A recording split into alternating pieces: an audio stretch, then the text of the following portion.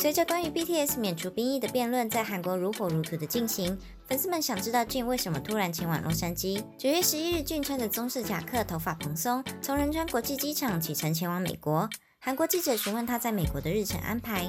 他透露洛杉矶之行有两个目的。根据报道，除了为杂志拍摄个人照片，也有与音乐相关的行程。在《b a k Music》创意团队的陪同下，进前往洛杉矶制作音乐的传言，令粉丝们已经开始期待个人专辑，纷纷激动表示希望入伍前可以参与进的 solo 活动。